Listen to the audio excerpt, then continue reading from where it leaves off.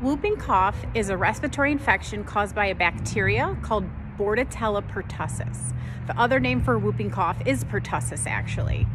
With pertussis, you can get runny nose, some watery eyes, and then also a very characteristic cough with a whooping sound. Pertussis can be dangerous because the coughing fits can be so extreme that patients have a hard time breathing and a hard time getting oxygen in, and also have a hard time eating and staying hydrated.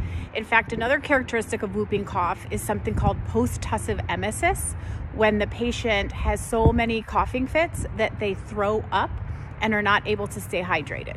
Pertussis is treated with antibiotics, rest, Tylenol or ibuprofen if you have a fever or you feel fussy. But more importantly, pertussis can be prevented through vaccination. It's very important to talk to your doctor because moms are eligible for vaccination when they're pregnant, and then also household members of new babies are eligible for pertussis vaccination.